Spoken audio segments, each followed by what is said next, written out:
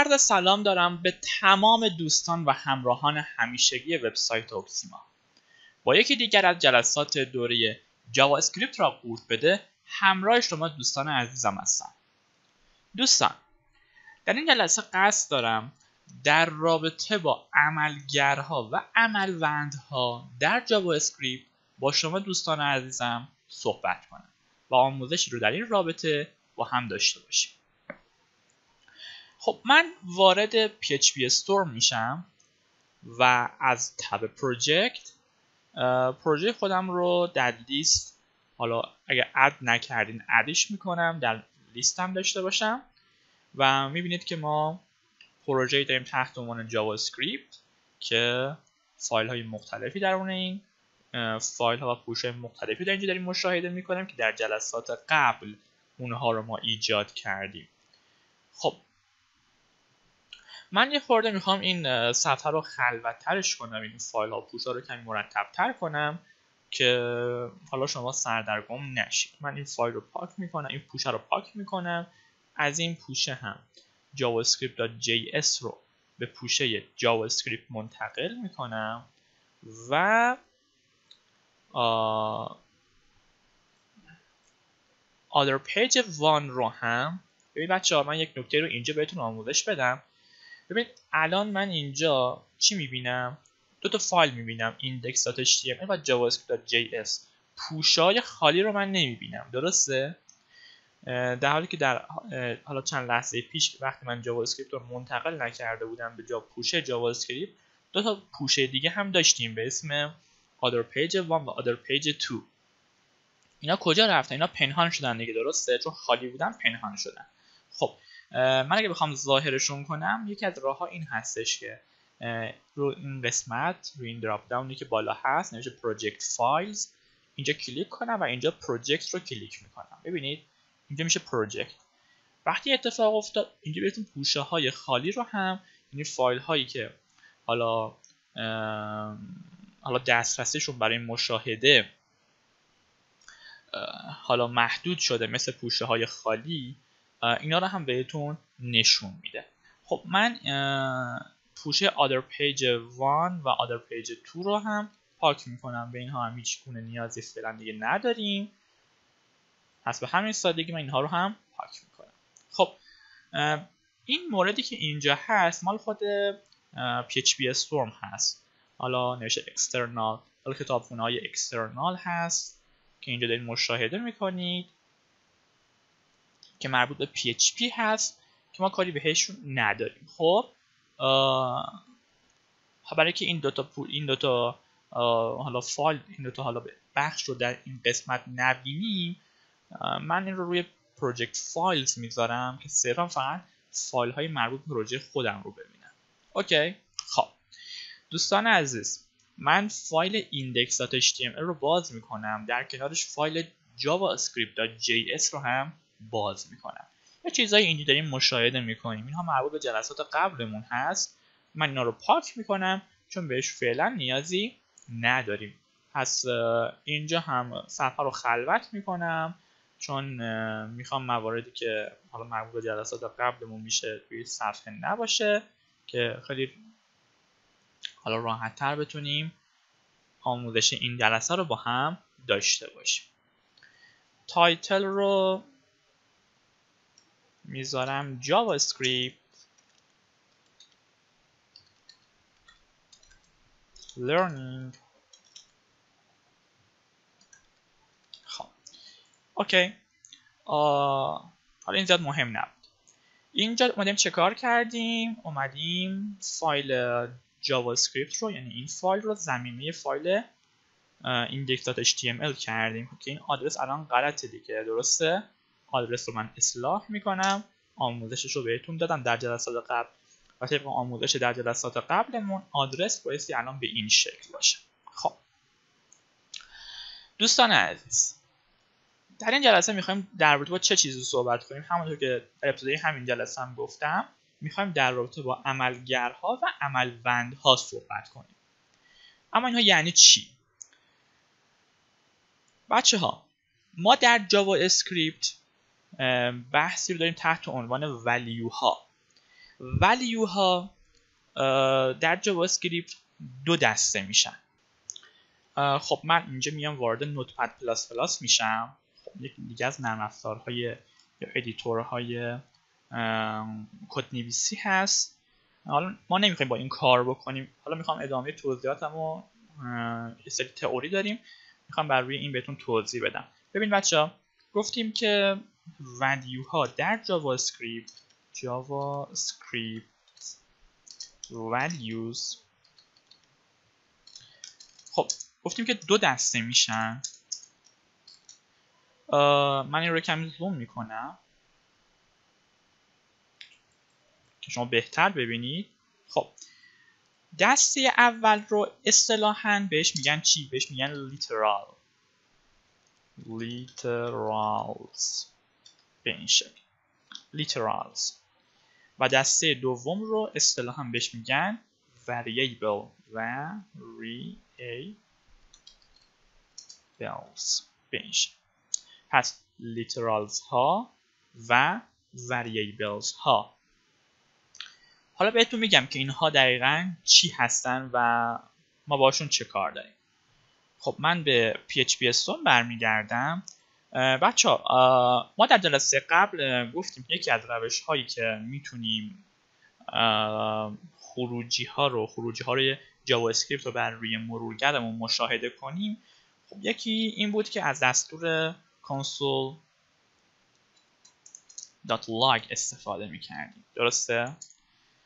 من می‌خوام از این روش حالا در این جلسه برای نمایش خروجی ها بر روی مرورگر استفاده کنم. شما می‌تونید هر یک از روش های دیگری که در جلسه قبل بهش اشاره کردیم و استفاده بکنید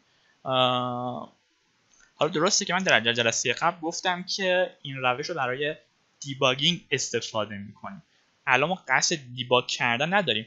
من صرفا از این روش می‌خوام به عنوان یک روش برای نمایش خروجی ها بر روی مروگر استفاده کنم و قصد دیباگینگ ندارم. صرفا می‌خوام به این هدف حالا بحث آموزش هست. صرفا می‌خوام اون چی که مربوط به این جلسه هست رو در بخش کنسول به نمایش در بیارم. گفتم که شما می‌تونید از هر یک از روش هایی که در جلسه قبل گفتم استفاده کنید و خروجی هایی که مربوط به این جلسه هست رو بر روی مرورگر خودتون به نمایش در بیارید. اوکی خب ادامه میدیم. من اینجا می‌تونم چه کار کنم؟ بنویسم یه رشته ایجاد کنم. خب. و اینجا بنویسم علی رضا. یا مثلا می‌تونم بنویسم Oxima. خب اینها چی اینا رشته هستن بچه درسته؟ از کجا تشخیص میدم که اینها رشته هستن؟ خب برای اینکه اولا که بین حروف بین quotation من قرارشون دادم. می‌بینید بین double quotation وقتی قرار بگیره یا بین single quotation وقتی یک عبارتی رو قرار میده اینها رشته هستن دیگه. حالا ممکن شما یک عدد بنویسید مثلا بنویسید 123 این هم یک عدد رشته ای هست. یعنی در اصل رشته هست. این نوعش رشته محسوب میشه. خب؟ چون بین تک کوتیشن قرار گرفته. یا بین دابل کوتیشن ممکن شما اون رو قرارش بدیم فرقی نمی‌کنه. پس ممکن من اینجا یک سری کاراکتر داشته باشم. حالا این کاراکتر می‌تونه عدد باشه ممکنه کاراکترهای مربوط به حروف الفبای انگلیسی باشه یا ممکن حتی زبانهای دیگه مثل فارسی باشه انگلیسی باشه فرانسه باشه. کاراکترهای خاص باشه مثلا مثل چی؟ مثل sharp مثل درصد مثل نمی‌دونم star یا هر چیز دیگه. اینا میشن رشته. پس وقتی شما یک سری کاراکتر رو بین double quotation یا تک quotation قرار میدین اینا میشن رشته. خب حالا این کاراکتر چی هست؟ عدد فرق نمی‌کنه. کاراکتری خاص فرق نمی‌کنه. حروف الف باز فرق نمی‌کنه. ترکیبی هستن فرقی نمی‌کنه. وقتی یه سری کاراکتر بین اینها قرار می‌گیره میشن رشته. حالا اگر بین اینها نباشه مثلا من اینجا بنویسم 123 خب این دیگه چی میشه؟ میشه عدد. خب حالا با هم یک رشته رو با هم چک بکنیم. مثلا من می‌نویسم اکسیما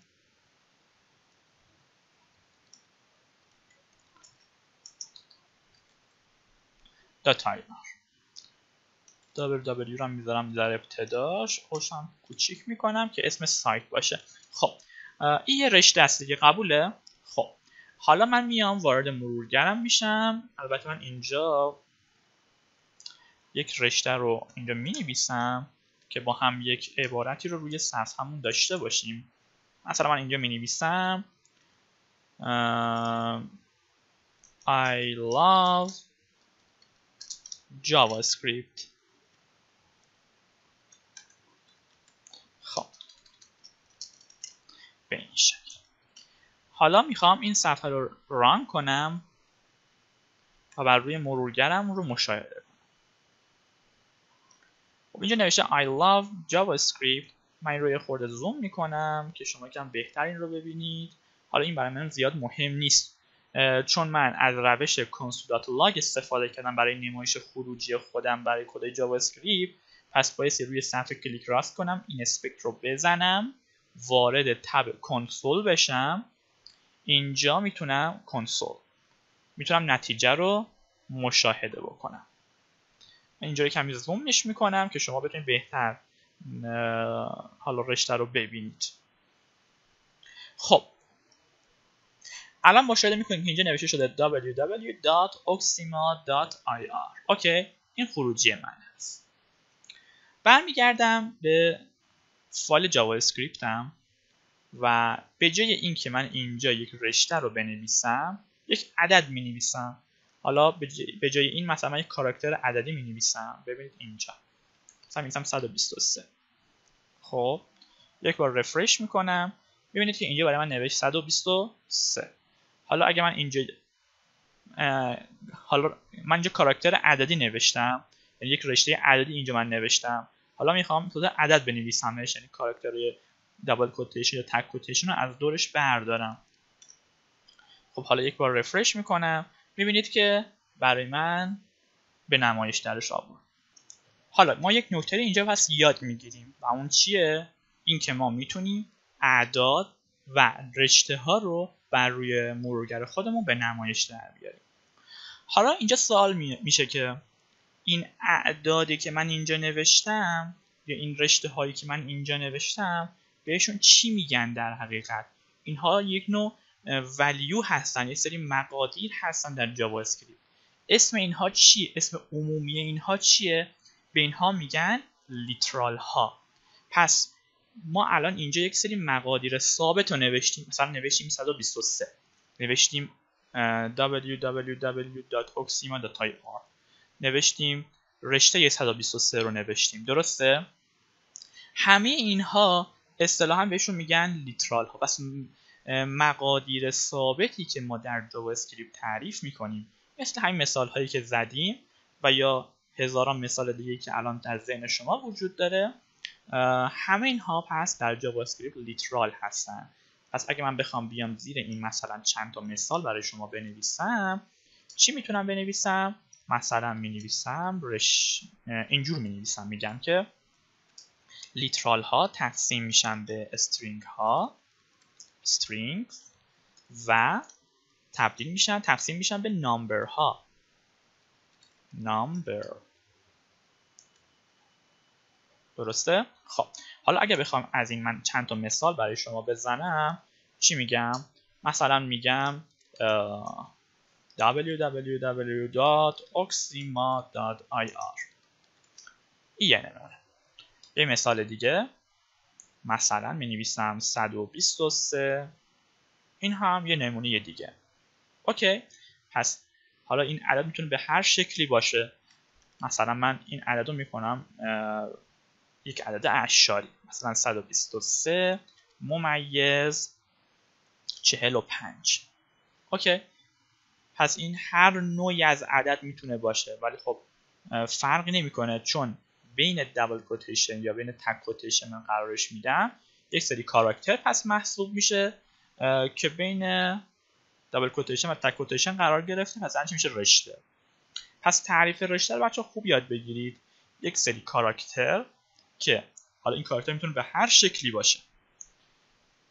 عدد می‌تونه باشه کاراکترهای خاص می‌تونه باشه حروف الفبای انواع زبان ها زبان های انسانی منظورم مثل انگلیسی مثل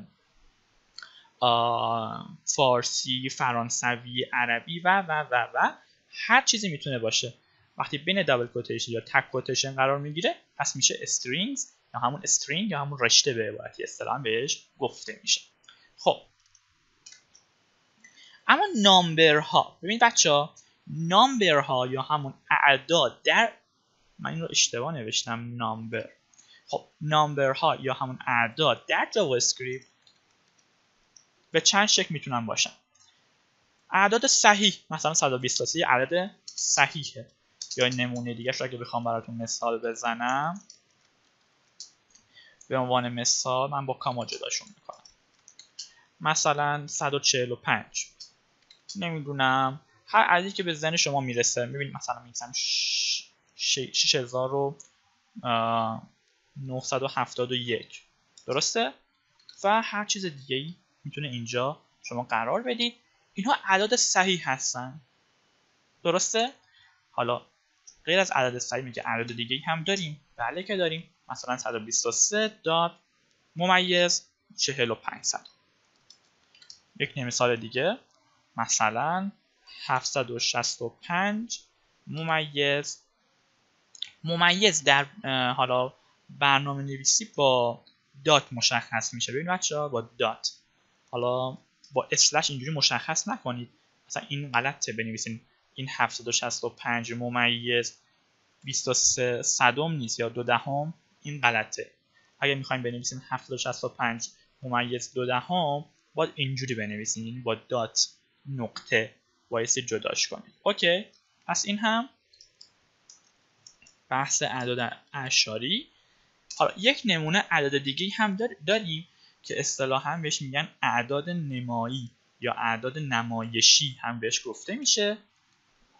مثلا من می نویسم 345 ای 5 مثلا این رو. یک عدد نمایی هست. این یعنی چی؟ این معادل چه عددی هست؟ خیلی ساده است. من این رو یه خورده فاصله میدم نسبت به این حالا اعداد بالایی که بهتر متوجه بشید. این معادل اینه. ببین بچه ها 345 وقتی می‌رسیم به ای یعنی 10 عدد بعدی توانش رو مشخص می‌کنه. ای یعنی 345 ضرب داره 10 به توان 5 10 به توان 5 یعنی یعنی چی؟ یعنی که من بیام به این شکل بنویسمش 345 ضربه داره درسته؟ ضربه داره 10 به توان 10 به توان 5 حالا این رو بخوام نمایش بدم. 10 به توان 5 اوکی. 345 ضرب داره 10 به توان 5 یعنی چند میشه؟ یعنی میشه 345 5 تا 0 جلوی 345 پس این دوتا با هم دیگه معادلن. پس که حالت اختصاری یا نمایی این عدد میشه این. درسته؟ 345 وقتی به این می‌رسید یعنی 10 عدد بعدی یعنی توانش هست. حالا من اگر اینجا بنویسم 51 یعنی 10 به توان 51 هر رقمی که بعد از ای میاد میشه چی؟ میشه توان ده شما. اوکی اینجوری. حالا اگه من اینجا بنویسم یه مثال دیگه با هم بزنیم. من می نویسم 345 ای منفی 5 این یعنی چی؟ این یعنی اینکه 345 ضرب داره 10 به توان منفی 5 10 به توان منفی 5 یعنی چی؟ یعنی 345 یعنی این مدلی میشه. ببینید. من معادلش رو براتون بنویسم. 345 ده به توان منفی 5 یعنی چی؟ این معادل اینه. ببین بچه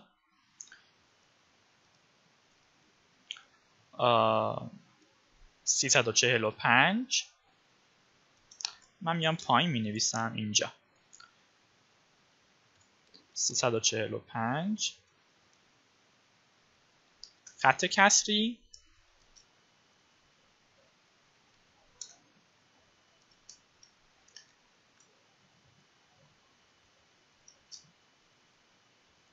زیر خط کسری. چی میشه؟ میشه ده میشه ده به توان پنج دیگه درسته؟ یعنی میشه یک پیش میشه صد هزار. ده به توان پنج یعنی یک پنج تا صفر جلوی خب. حالا این یعنی چی؟ این رو به این شکل هم میشه نوشتش دیگه. پس معادل این باز به این صورته. ببینید حالت اشاری می‌گیره. میشه ممیز دو صفر سی و چهل و پنج درسته؟ اینا معادل همدیگه هستن دیگه چی شد؟ پس نوشتیم 345 ای منفی 5 این یعنی چی؟ یعنی 345 ضرب در وقتی به این می‌رسی یعنی 10 10 به توان منفی 5 درسته این یک معنی اونه حالا خود همه یعنی چی؟ یعنی 345 بر روی 10 به توان 5 10 به توان 5 یعنی این دیگه درسته؟ من اینجا می‌تونستم بنویسم 10 به توان 5 به این شکل. درسته؟ به این شکل. خب حالا این یعنی چی؟ این هم یعنی اینکه 300 یعنی که من بنویسم ممیز دو صفر 345 ببینید دو صفر 345 پنج رقم داریم. همین میشه دیگه. حالا بحث ریاضی من اینجا نمی‌خوام تدریس کنم. ولی خب اینا معادل همدیگه هستن دیگه. اوکی. این رو اگه بخوایم حالا به صورت به صورت اشاری بنویسیم به این شکل میشه. پس این هم در رابطه با اعداد نمایی در جاوا اسکریپت من این رو پاک می‌کنم به این شکل. برگردم. ببخشید. برمیگردم.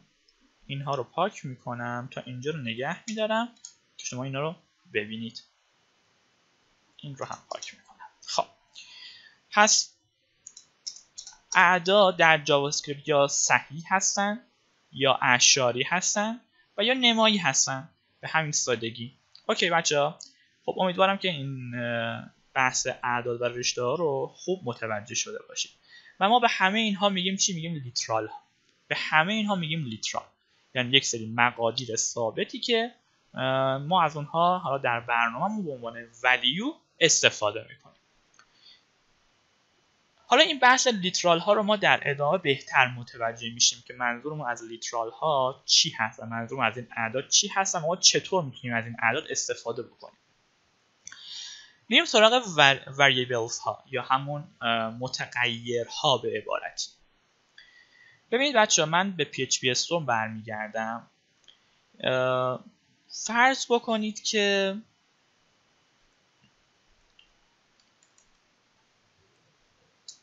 به این شکل من یک فاصله ایجاد می‌کنم. این رو هم بر میدارم خب اول بیایم یک توضیح در رابطه با متغیرها بدیم. متغیرها در اصلا چی هستن؟ به چی ما میگیم متغیرها؟ ببین بچه ها یه ظرف در یه ظرف رو در نظر بگیرید. مثلا یک لیوان رو در نظر بگیرید. خب؟ شما در اون این لیوان می‌خواید یک آب برزید درست درسته؟ خب. این لیوان برای شما آب رو درون خودش نگه میداره. و شما مثلا می‌تونید با این آب شربت درست کنید یا هر کار دیگه می‌تونید انجام بدید. پس شما می‌تونید هر بلایی که سر دوست دارید می‌تونید سر این آبه بیارید که درون این لیوانه هست. متغیرها در زبانهای برنامه نویسی حکم همین لیوانه رو بازی می‌کنن و این آبه حکم همین بحث متغیر مقادیر literal رو بازی می‌کنه. یعنی چی شد؟ متغیرها پس ظروفی هستن در زبانهای برنامه نویسی نه تنها زبان برنامه نویسی جاوا اسکریپت بلکه در تمام زبانهای برنامه نویسی از جمله جاوا اسکریپت که درون خودشون میان و مقادیر literal رو میان نگهداری می‌کنن. و شما می‌تونید روی این مقادیر literal هر کاری که دوست دارین رو می‌تونید انجام بدید مثلا جمعش بکنید تفریقش بکنید ضربشون بکنید با یک عدد دیگه یا هر بلای دیگه ای که دوست دارین سر این مقادیر literal بیارید. اما variable ها یا مقادیر متغیر اینها مواردی حالا ظروفی هستن در زبانهای برنامه نویسی جمله جاوا اسکریپت که از این مقادیر نگهداری می‌کنه. okay. حالا ما چطور می‌تونیم یک متغیر در جاوا اسکریپت تعریف بکنیم؟ ما بایستی متغیرها رو در زبانهای برنامه نویسی تعریف بکنیم. برای تعریف یک متغیر در زبان برنامه نویسی بایستی از حرف از دست کلمه کلیدی ور استفاده کنید به این شکل. با حروف کوچیک ور. خب و بعد از ور یک فاصله ایجاد می‌کنید و بعد یک حالا اسمی رو برای متغیر خودتون یعنی برای ظرف خودتون انتخاب می‌کنید. خب اینجور, اینجور تصور کنید مثلا چند تا لیوان دارید به لیوان اول میگید A به لیوان دوم میگید B به لیوان سوم اسمشو می‌ذارید C. درسته؟ پس شما سه تا لیوان دادید سه تا ظرف دارید که به هر کدوم یک اسم دادید درسته؟ خب متغیرها هم همین شکلن. پس با ور با کلمه کلیدی ور که همون ابتدای حرف وریبل هست. ببین بچه اینجا. وریبل ور سه حرف اول این رو اومدن به عنوان کلمه کلیدی برای تعریف متغیرها استفاده کردن. خب من یه اسم انتخاب می‌کنم. مثلا می‌تونم بنویسم x می‌تونم بنویسم علی. خب این علی الان شد یک متغیر. حالا در ادامه بهتر متوجه میشید که این متغیرها رو ما چجور می‌تونیم ازشون استفاده بکنیم. اول یاد بگیریم که این اسام اسمی که ما می‌خوایم برای متغیرمون بزنیم به چه صورته. خب بعد ادامه بحث رو با هم پیش میریم و متوجه میشید که ما از این متغیرها چگونه می‌تونیم استفاده کنیم. اصلا این متغیرها چی هستن دقیقا و ما چجوری باید در جاوا اسکریپت از اینها کار بکشیم. پس اول یاد بگیرید که یک متغیر رو تعریف بکنید. پس نوشتیم و یه فاصله ایجاد کردیم. حالا یک سری می‌خوام یک اسم براش انتخاب کنم. این اسم می‌تونه هر چیزی باشه. هر چیزی که الان به ذهنتون خطور می‌کنه. هر اسمی که دوست دارین رو می‌تونید براش در نظر بگیرید. اما یه سری قوانینی هم وجود داره که ما برای این اسامی به طور کل اسامی که ما در جاوا اسکریپت می‌خوایم تعریف کنیم حالا مثلا اسم متغیر یا هر اسم دیگری که ما می‌خوایم در جاوا اسکریپت تعریف بکنیم یک سری قوانین رو ما بایستی در نظر بگیریم. حالا انشاءالله در جلسات آینده ما در رابطه با مثلا توابع صحبت می‌کنیم در رابطه با object ها صحبت می‌کنیم و مواردی از این دست. خب ما بایستی برای اینها هم اسم انتخاب کنیم. مثل اینجا که می‌خوایم برای یک متغیر اسم انتخاب کنیم وقتی به بحث function ها یا همون توابع هم می‌رسیم بایستی برای یک function هم برای یک توابع هم اسم انتخاب کنیم. وقتی به بحث object ها می‌رسیم بایستی برای object ها هم اسم انتخاب کنیم. به طور کلی هر زمانی هر کجای جاوا اسکریپت خواستیم یک اسم انتخاب کنیم مثل اینجا مثل اسم متغیر. خب یه سری قوانین کلی هست که شما بایستی در نظر بگیرید. من این این قوانین رو همینجا بهتون یاد میدم. در طول کل آموزش جاوا اسکریپت هر جا گفتیم می‌خوایم اسم انتخاب کنیم بایستی بدونید که این قوانین رو بایستی رعایت بکنیم. okay خب. اول اینکه نام یک متغیر یا به طور کلی یک اسم در جاوا اسکریپت که می‌خواین تعریف بکنید نباید با عدد شروع بشه. مثلا اگه من می‌خوام مثلا من نمی‌تونم بنویسم دو OX. خب. این یک اسم متغیر یا یک اسم در جاوا اسکریپت نمی‌تونه باشه. نمی‌تونه یک اسم متغیر باشه. یا هر اسم دیگری در جاوا اسکریپت این نمی‌تونه باشه. چرا؟ چون حرف اولش چون با یک عدد شروع شده. حالا مثلا دو یا مثلا 23 یا هر عدد دیگری. خب؟ پس نمی‌تونیم با عدد با کاراکتر عددی نام یک نام رو شروع کنیم. حالا اینجا موضوع بحثمون نام متغیر هاست. میگیم نمی‌تونیم نام یک متغیر رو با یک عدد شروع بکنیم. خب ولی با سایر کاراکترها می‌تونیم. خب مثلا من می‌تونم با حروف الفبایی لاتین حروف الفبای فارسی هم می‌تونم استفاده کنم. مثلا من می‌تونم بنویسم مثلا من می‌تونم اینجوری بنویسم بنویسم مثلا حرف شین رو بنویسم بعد بنویسم A نه. اصلا باز اینجوری هم نمی‌تونید بنویسین حروف الفبای لاتین انگلیسی رو فقط می‌تونید بنویسین به عنوان حالا شروع کننده کاراکتر برای اسمتون. یعنی از حرف A تا حرف Z به این شکل. و به علاوه از کاراکترهای خاص هم نمی‌تونید استفاده کنید. یعنی از مثلا درصد نمی‌تونید استفاده کنید. از اند نمی‌تونید استفاده کنید. از پرانتز نمی‌تونید استفاده بکنید. فقط دو تا character خاص هستن که شما می‌تونید در ابتدای نام متغیر هاتون بذارید. یکی آن علامت دلار هست که به این شکل نمایش داده میشه و یکی underscore یا همون underline هست.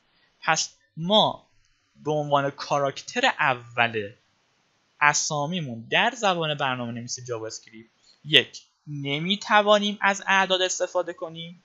دو نمی‌توانیم از حروف الفبایی سایر زبانهای سایر زبانها به جز زبان انگلیسی استفاده کنیم. یعنی از حرف A تا حرف Z رو من می‌تونم استفاده کنم. حروف الفبایی فارسی رو من نمی‌تونم به استفاده کنم. در طول نام نامی که می‌خوام تعیین بکنم. خب؟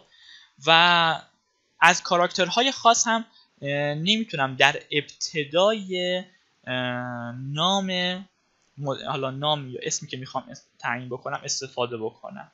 بجز دو تا character خاص under، underline یا همون underscore و دالر خب پس من می‌تونم بنویسم underline OX بله من می‌تونم همچین چیزی رو بنویسم. می‌تونم بنویسم dollar OX بله می‌تونم همچین چیزی رو بنویسم. ولی نمی‌تونم بنویسم یک OX نمی‌تونم بنویسم سه OX اوکی. خب حالا یه سال دی نمی‌تونم بنویسم and OX پس همچین اسمی غلطه. درست شد؟ حالا من می نویسم OX یا می نویسم O حرف O رو می نویسم و, بعد می‌خوام بنویسم عدد می نویسم دوازده. آیا همچین چیزی میشه؟ بله هیچ اشکال دیگه نداره. فقط به عنوان کاراکتر اول شما نمی‌تونید عدد رو استفاده کنید. کاراکتر اول رو کاراکترهای مجاز رو بنویسین بعد می‌تونید اعداد رو استفاده کنید. درسته؟ این یه نکته. آیا من می‌تونم اینجا بنویسم؟ او مثلا درصد x بله این هم مشکلی نداره. البته این مشکل داره. این کاراکتر خاص رو شما نمی‌تونید بنویسید. خب در استفاده از کاراکترهای خاص خیلی محتاط باشید. چون نگاه کنید بچه ها character های خاص در زبان برنامه جاوا اسکریپت هر کدوم یک معنی رو داره.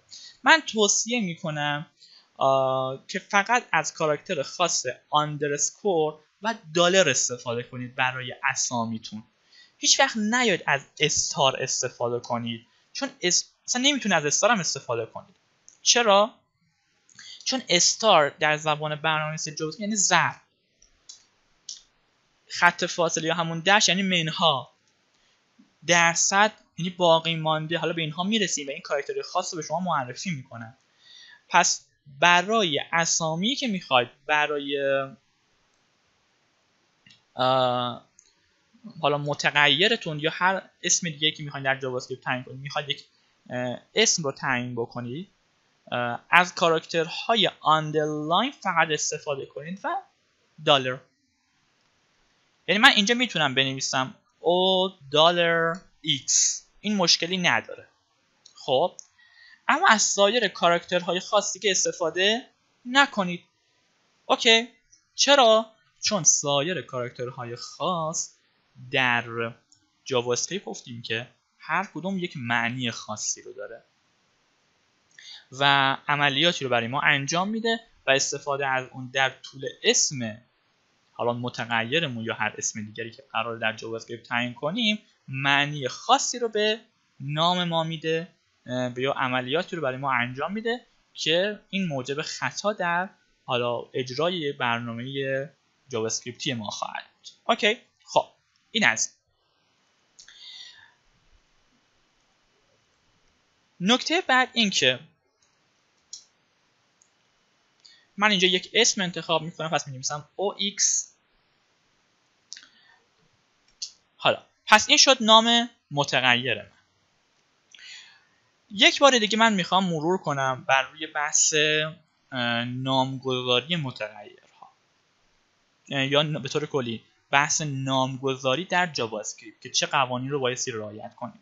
چون خیلی مهم هست می‌خوام دوباره تکرارش کنم. پس دوباره تکرار می‌کنیم.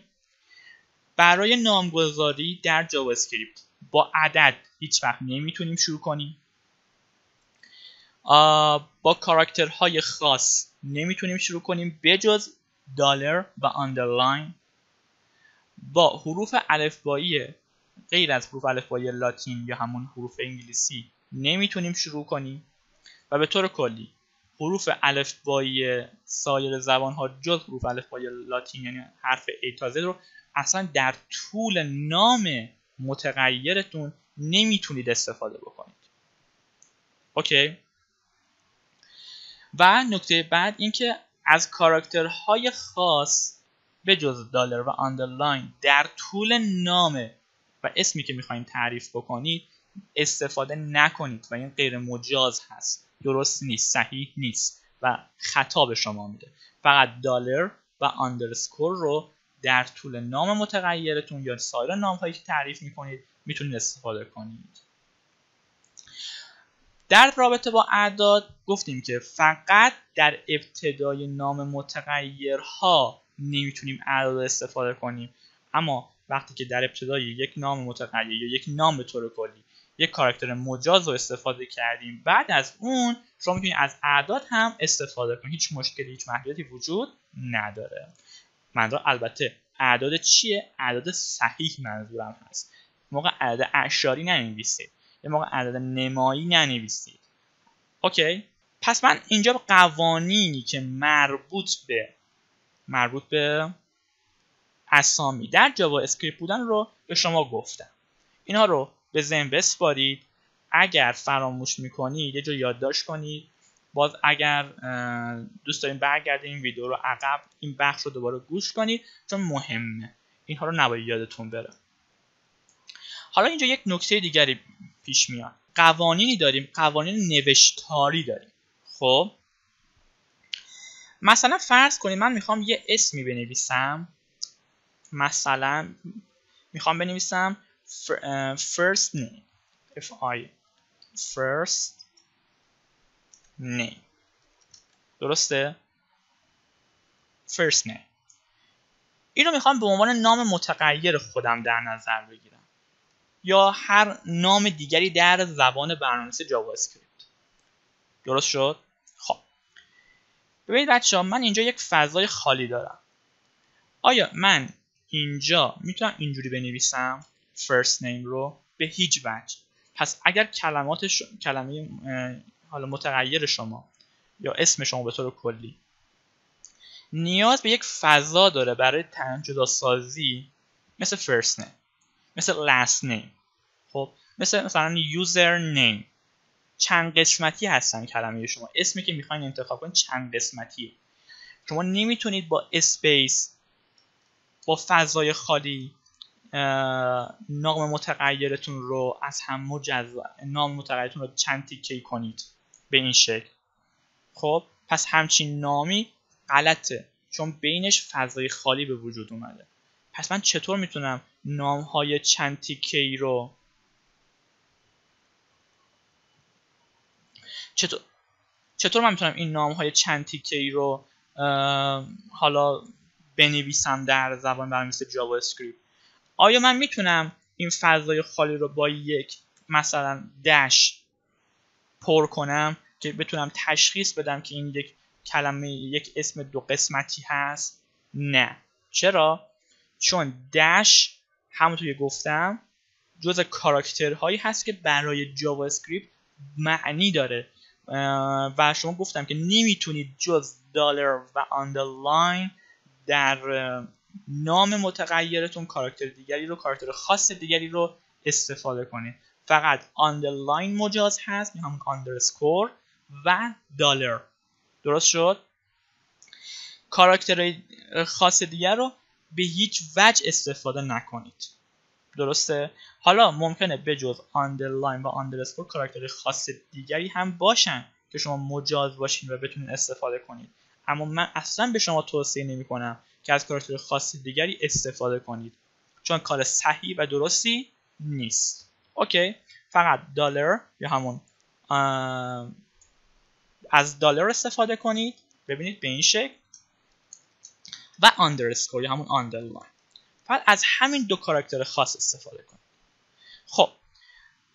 پس من اگه بخوام این اسم دو قسمتی رو بخوام حالا تفکیک کنم گفتیم که پس از space نمی‌تونیم استفاده کنیم. گفتیم که نمی‌تونیم از dash استفاده کنیم. پس از چی استفاده کنیم؟ از underline استفاده کنیم. خیلی شیک و زیباتر هم هست. پس یه راه اینه که شما بیاین از underline استفاده کنید. این یه مورد. حالا یه نکته دیگر این که به جز این راه آیا راه دیگه هم وجود داره؟ بله شما می‌تونید این فضای خالی رو از بین ببرید. بیاید حرف اول قسمت دوم رو مثلا نیم رو حرف انش رو. با حروف بزرگ بنویسید. به این شکل first name. به همین سادگی. خب پس این هم یه راه دیگر, دیگر هست. حالا بچه ها یه سوال. پس من اینجا اومدم یک متغیر تعریف کردم. میام پایین یه duplicate می‌گیرم که یه کپی اصل می‌گیرم میارم پایین اینجا. خب؟ ببینید بچه ها زبان برنامه نویسی جاوا اسکریپت به حروف بزرگ و کوچیک برای اسامیش حساسه. یعنی چی؟ یعنی مثلا من اینجا حرف F رو با F کوچیک نوشتم. اگه مثلا بیام اینجا با F بزرگ بنویسم این دوتا رو یه, متق... یه, مت... یه اسم نمی‌دونه. خب؟ یعنی این دوتا رو دوتا اسم مجزا در نظر می‌گیره. چرا؟ شما میگه که خب این first name اینم first name نوشته شده. چرا دوتاشو مجزا در نظر می‌گیره؟ دو تا اسم مجزا در نظرش می‌گیره. به خاطر گفتیم که زبان برنامه نویسی جاوا اسکریپت به حروف بزرگ کوچیک برای اسامیش حساسه. یعنی فرست نیم با حرف بزرگ F و فرست نیم با حرف کوچیک F با هم متفاوتن. حالا من این F رو کوچیکش می‌کنم. اینجا حرف N رو کوچیک می‌کنم. باز اینجا نگاه کنید first name با n بزرگ و first name با n کوچیک با هم متفاوت. پس اگر شما بیاید من n بزرگ می‌کنم. پس اگر شما بیاید هر کدوم از این کاراکترها رو بزرگ کنید یعنی با حرف کپیتالش بنویسین با مثال بالای ما دو تا اسم متفاوت رو خواهند ساخت. مثلا من اینجا اگر بیام حرف آ رو بزرگ کنم دیگه این دوتا با هم دیگه یکی نخواهند بود. اما اگر بیام مثلا آ رو کوچیک بنویسم الان این دوتا با هم یکی هستن. خب یعنی این فرست نیم و این فرست نیم با هم یکی هستن. همه کاراکتراشون عین هم هستن حروف بزرگ کوچیکشون هم مثل هم دیگه هستن. فقط کافی مثلا بیام این حرف تی رو مثلا در اینجا بزرگ کنم. الان دیگه این دوتا مثل هم نخواهند بود. اوکی. خب یه نکته. من این رو پاک می‌کنم. و اینجا می‌نویسم first name. خب. در پایان این نکته رو در جلسه قبل هم گفتم. گفتم که در پایان تمام دستورات جاوا اسکریپتی باید چه چیزی بذاریم؟ چه کاراکتری رو بایستی بذاریم؟ semicolon پس semicolon بچه یادتون نره. در پایان تمام دستورات جاوا اسکریپتی semicolon رو چی؟ بذارید. semicolon رو بایستی بذارید. OK. مثل console.log ببین من نوشتم console.log در پایانش چی گذاشتم؟ سمیکالون گذاشتم. نوشتم ور first name در پایانش چی گذاشتم؟ در پایانش سمیکالون گذاشتم. حالا می‌خوام بیام یه متغیر دیگه تعریف کنم. می نویسم ور last name. Last underline name. خب سمیکان الان من یک متغیر دیگری رو هم تعریف کردم. به نام last underline name. من خودم دوست دارم به شخص دوست دارم اسامی خودم رو با underline این ف... اسامی که چند قسمتی هستن مثل first name last name چند قسمتی میشن این قسمت های مجزا رو با underscore از هم جدا کنم چرا؟ چون حس می‌کنم که خاناتر هست. خاناتر میشه. با underline وقتی از هم جداشون می‌کنیم خاناتر میشه و شکل بهتری رو به اسم ما میده. شما هم سعی کنید که مثل من از همین روش استفاده کنید من به تجربه این روش رو میپسندم و حالا شما می‌تونید از این تجربه که من دارم استفاده کنید و شما هم از همین روش استفاده کنید. هرچند ممکنه سورت های مختلفی رو ببینید و ببینید که به شیوای دیگه دارن نامگذاری انجام میدن. اما شما برای استاندارد خودتون این روش رو انتخاب کنید برای نام هایی که می‌خواید تعریف بکنید. این روش بهتری هست. خب ما الان دو تا متغیر تعریف کردیم. به نام last name و first name. گفتیم اینا مثل چی میمونن متغیرها مثل میمونن که من دو تا لیوان گذاشته باشم جلوی خودم. اسم یکی رو گذاشته باشم first name. اسم یکی رو گذاشته باشم چی؟ last name. پس به این ترتیب من می‌تونم متغیرهای خودم رو تعریف کنم و براشون نامهای دلهای خودم رو البته با قوانینی که گفتیم برای خودم تعریف بکنم. دوباره تکرار می‌کنم بچه ها قوانینی که ما در رابطه با نام متغیرها مطرح کردیم این قوانین نامگذاری در جاوا اسکریپته هر جای دیگه در زبان برنامه‌نویسی جاوا اسکریپت ما گفتیم می‌خوایم یک نام تعریف بکنیم می‌خوایم یک اسم انتخاب کنیم این قوانین حتما بایستی لحاظ بشن. یادتون باشه. OK؟ خب. حالا ما اینجا می‌خوام یه نکته دیگری رو به شما آموزش بدم. سوال می‌پرسید که آیا من می‌تونم این دستور رو و این دستور رو توی یک خط قرار بدم؟ ببین بچه وقتی شما در پایان یک دستور سیمی کالون می‌ذارید یعنی پایان این دستور. درست شد؟ حالا این هم یک دستور دیگه هست که در پانش سیمی کالون گذاشته شد. پس چون پایان دستور من مشخص هست پس من می‌تونم بیام اینها رو در یک خط هم قرار بدم. می‌تونم دستوراتم رو بیارم در یک خط قرار بدم. به این شکل. این هیچ گونه اشکالی نداره و از لحاظ نگارشی صحیح هست. اما به نظر شما کار صحیحی هست کار قشنگی هست؟ ارور بهتون نمیده. خطا بهتون نمیده. اما این نحوه نگارش خوندنش بچه ها سخته. شما وقتی می‌خواین این کد خودتون رو نوشتین رو بخونید وقتی اینا رو پشت سر هم دیگه توی یک خط نوشته باشین خب شکل زاری قشنگی نداره دیگه قبول دارین؟ بهتر چیکار کنیم؟ بیایم اینها رو وقتی به سیمی کالون می‌رسیم هر جا به سیمی کالون رسیدید یه اینتر بزنیم بیایم پایین. هر جا به سیمی کالون رسیدید یه اینتر می‌زنیم میایم پایین و به این شکل بین دستوراتمون تف... دستوراتمون رو تفکیک می‌کنیم و اونها رو مرتب می‌کنیم. قبلا هم به این نکته اشاره کردم. بچه تمیز کد نوشتن یه هنره و هر برنامه نویس این هنر رو نداره. شما که دارین الان JavaScript رو یاد می‌گیرین و ممکنه از قبل برنامه نویسی دیگری رو انجام داده باشین و با زبانهای دیگری کار کرده باشین. همیشه یاد بگیرین که برای خودتون قراردادهایی رو تعریف کنید که منجر به این بشه که source code شما تمیز باشه. وقتی اون رو به همکارتون ارائه می‌دید و از اون می‌خواید که سورس کد شما رو بخونه اون وحشت نکنه از اینکه می‌خواد سورس شما رو بخونه چون اینقدر بد خط نوشید و اینقدر بد کدها رو کنار هم قرار دادید که طرف شوکه میشه. خب پس تمیز کد نوشتن بچه یه هنره. همیشه برای خودتون این قراردادها رو تعریف کنید. من می‌خوام وقتی به یک سیمی کالون رسیدم یک enter بزنم بیام پایین. درست شد؟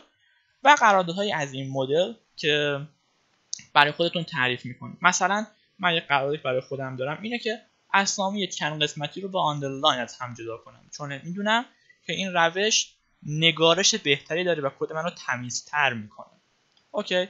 شما می‌تونید قراردادهای دیگری رو که حالا مد نظرتون هست و و به تجربه بهش می‌رسین رو برای خودتون در نظر بگیرید و در سورس کداتون استفاده کنید من حالا قراردادهایی که بین خودم برای خودم وضع کردم و در کد نویسی خودم استفاده می‌کنم و منجر به کد نویسی تمیزی میشه اینها رو در طول آموزش بهتون یاد میدم. مثل همین الان که دو مورد رو بهتون آموزش دادم. یه مورد دیگه این که همیشه سعی کنید تعریف متغیرهای خودتون رو در بالاترین قسمت از کد نویسیتون انجام بدید. ببینید بچه ها ممکنه من اینجا اومدم متغیر تعریف کردم دیگه درسته؟ حالا میام پایین اینجا یه سری کد می نویسم اینجا یه سری کد دیگه می نویسم میام پایین اینجا یه سری کد دیگه می نویسم و همیشه. درسته؟ حالا ممکنه اینجا در این فرا... در این فواصل شما نیاز داشته باشید که متغیرهای دیگری رو تعریف کنید. همیشه نگاه کنید بچه‌ها سعی کنید متغیرهاتون رو بالای صفحه بنویسید. بالای صفحه متغیرهای خودتون رو مرتب زیر هم دیگه شیک و تمیز بنویسین و در طول برنامه ازش استفاده بکنید. اصلا مهم نیست. من, من می‌تونم مثلا یه متغیر دیگر رو اینجا تعریف کنم. به این شکل. مثلا بنویسم ور به عنوان مثال user username یا اینجوری بنویسیم. username سیمکان خب. و بیام پایین یه سری کد دیگه بنویسم. بیام پایین یه سری کد دیگه بنویسم. خب این خیلی شکل زشتی داره دیگه که من بین یه سری سورس کد اومده باشم یه متغیری رو گوشه تعریف کرده باشم. خب چه کاریه؟ من این رو برش میدارم در عوض میام در محلی که برای خودم تعریف کردم برای متغیر تعریف متغیرها میام یوزرنیم رو تعریف می‌کنم. به همین شیکی و به همین زیبایی و به همین سادگی. این برای شما خوندن برنامه رو ساده تر می‌کنه و شما رو یک برنامه حرفه‌ای تری نشون میده. OK پس برنامه نویس حرفه‌ای این نیست که دستورات خیلی بیشتری از شما بلده. درسته این هم یک پارامتره.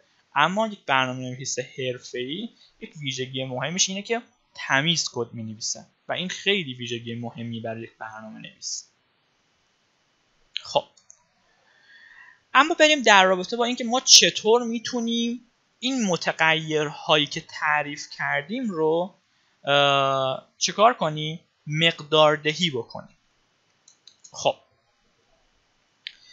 من میام چه کار می‌کنم؟ ببینید بچه ها ما دو تا حالا حالا من میگم کاراکتر خب؟ دو تا کاراکتر داریم. نگیم کاراکتر حالا اصطلاح صحیحی نیست. دو تا اپراتور داریم. حالا واژه انگلیسیش اینه. دو تا عملگر اصطلاح همش میگن. دو تا عملگر داریم. یکی اینه که میشه مساوی. یکی هم اینه. خب؟ و یکی هم اینه. سه تا. هر کدوم از اینها برای جاوا اسکریپت یک معنی متفاوتی میده. هر سه رو می‌بینید از علامت مساوی استفاده کردیم. اینجا یه مساویه اینجا دو تا مساوی پشت, سر هم دیگه است. اینجا سه تا مساوی پشت سر هم دیگه هست.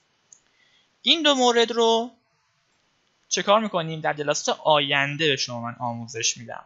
زمانی که به بحث شروع به دستورات شرطی می‌رسیم من این اپریتورها رو یا این عملگرها رو بهتون نشون بهتون آموزش میدم و در رابطه با اونها صحبت می‌کنم. اما الان بعد همین رو بدونید که ما این سه تا اپریتور رو داریم این سه تا عملگر رو داریم و هر کدوم یک معنی متفاوتی رو داره.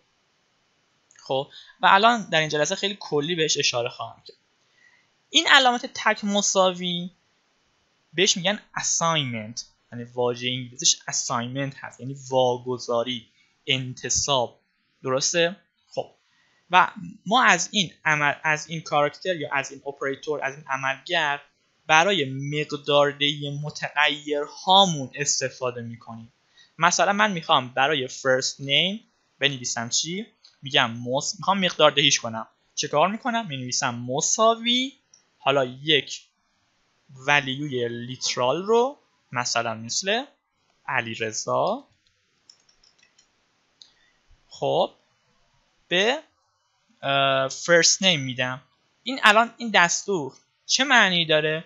یعنی بیا مقدار literal علی رضا رو یک, مت... یک مقدار لیترال هست یک مقدار هست درسته؟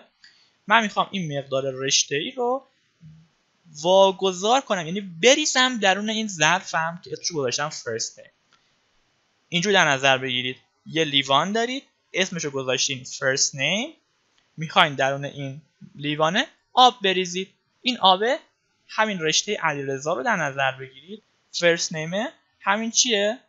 ظرفه هست که اسمش گذاشتین فرست نیم درست شد؟ علیرضا رو ریختیم داخل چی؟ متغیر فرست نیم این رشته رو ریختیم درون این متغیر. حالا برای last name می‌خوام یک مت... می‌خوام یک مقدار دیگر رو تعریف کنم. مثلا می نویسم last name مساوی با یک رشته تعریف می‌کنم به اسم رایسی به این شد الان من مقدار رشته رایسی رو ریختم درون چی؟ متغیر last name. درست شد؟ به این شکل. پس ما به این میگیم چی؟ به این میگیم به این اپراتور به این عملگره میگیم عملگر انتصاب یا عملگر واگذاری که برای مقداردهی متغیرها ازش استفاده می‌کنه. خب اینجا یه نکته رو من برای شما توضیح بدم بچه ها پس این علامته معنیش علامت مساوی یا برابری نیست. حالا ما این بحث برابری حالا یک عملیات شرطی محسوب میشه و ما بایستی این رو در جلسه ای که بحثمون در رابطه با شروط در جاوا اسکریپت هست توضیح بدیم. اما اینجا یک پیش زمینه داشته باشیم بد نیست. که این, این کاراکتر به معنی واگذار یا انتصاب هست که این میشه. این دوتا این دوتا اپراتور که اینجا داریم دو تا عملگری که اینجا تعریف کردم اینها معنیشون همون بحث مساوی هست. میگه دو برابر با دو. مثلا به این شکل. ببینید. مثلا میگید دو برابر با دو. خب. یا مثلا میگید چهل و پنج برابر با چهل و پنج. درسته؟ این بحث برابری با این دو اپراتور این دو عملگر تعریف میشن. نمی‌خوام بیشتر از این در رابطه با این دو اپراتور صحبت کنم و اینکه این دو اپراتور چه تفاوت هایی با همدیگه دارن. فعلا در همین حد فقط بدونید که این تک مساوی یعنی معنیش معنی برابری نمیده. معنی چی میده؟ معنی واگذاری میده. وقتی من می‌خوام یک متغیر رو مقداردهی کنم از این عملگر استفاده می‌کنم. و به این شکل دو تا مثال برای شما زدم که دو تا مقدار رو من درون این دو متغیر قرار دادم.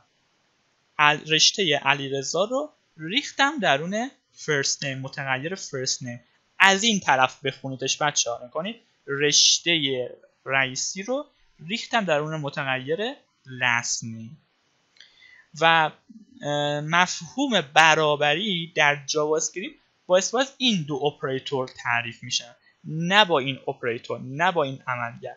اپراتور معنی فارسیش میشه عملگر. OK؟ خب.